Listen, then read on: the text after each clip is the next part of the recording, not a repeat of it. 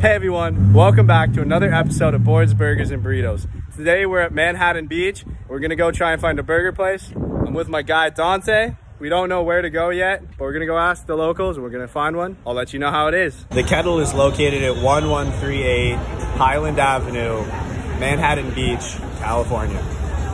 So we're gonna get a burger at the kettle. We're gonna let you know how it is. It's good.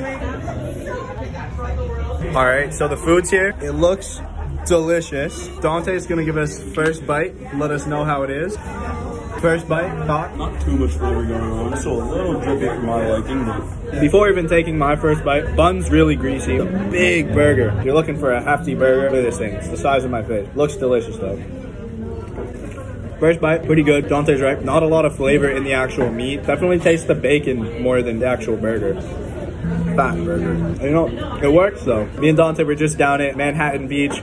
We're craving a burger after being out in the sun. Definitely hits the spot for a burger. French fries are probably the best part of this for the flavor wise. They, they have some flavor to it. It's funny because it's potato. Down. Definitely on the heavy side. If you were to rate this right now, what would you give it? Not the worst I've ever had. Definitely not the best. I'd say like a five nine. A little too greasy for my liking. If I was to rate this right now, I'd give this a 6-3. It really does weigh you down a lot.